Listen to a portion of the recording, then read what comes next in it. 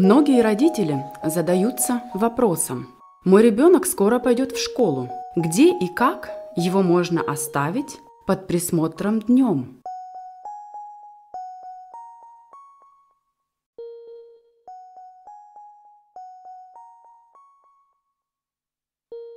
Дорого ли это? Нравится ли там детям? Мы предлагаем вам три варианта, чтобы получить небольшой обзор. Связанные занятия в течение всего дня, открытая школа в течение всего дня и послешкольный уход, так называемая продленка. В связанный полный день обучения уроки чередуются с практикой, обучением и спортом или же креативными предложениями. Учителя несут ответственность за обучение и контроль. Есть также время для индивидуального развития. Домашние занятия в основном делаются в школе, есть большой обеденный перерыв с едой и свободным временем для игр. Полный день является добровольным и бесплатным. Оплачивается здесь только обед. Для занятий в течение всего дня вы должны зарегистрировать своего ребенка в школе. Тогда это применимо. Регистрация на весь период начальной школы. При несвязанном полном дне обучения уроки заканчиваются в полдень. Во второй половине дня школы организован уход за детьми до 16.00.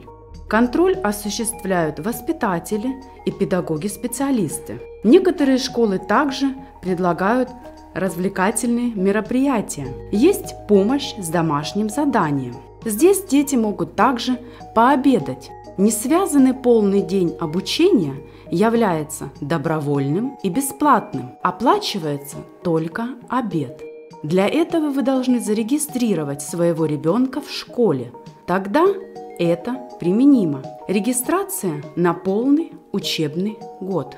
Или же ваш ребенок посещает продленку, так называемый послешкольный уход. Уроки заканчиваются в полдень. Забота во второй половине дня не предлагается школой, а проводится в ближайшем детском центре. Контроль осуществляется педагогами и другими специалистами в области образования. Есть также помощь в выполнении домашних заданий и другие предложения. Здесь дети могут пообедать. Продленное обучение стоит около 150 50 евро в месяц. Также нужно около 65 евро дополнительно на обед. Семьи с низким доходом могут быть освобождены от оплаты. Подробнее об этом в информации под этим видео. Если вы хотите, чтобы ваш ребенок посещал продленные дни, вы должны зарегистрировать его напрямую. Тогда это применимо. Регистрация на полный учебный год. Предложения в отдельных школах и центрах продленных определенного дня различаются. В каждой школе есть собственная концепция. Некоторые школы предлагают все три модели, некоторые же только две из них. Теперь это снова стало сложно. Но вы не волнуйтесь, школы предлагают информацию и рады обсудить с вами правильное решение, индивидуальное решение для вашего ребенка. Вы только спросите,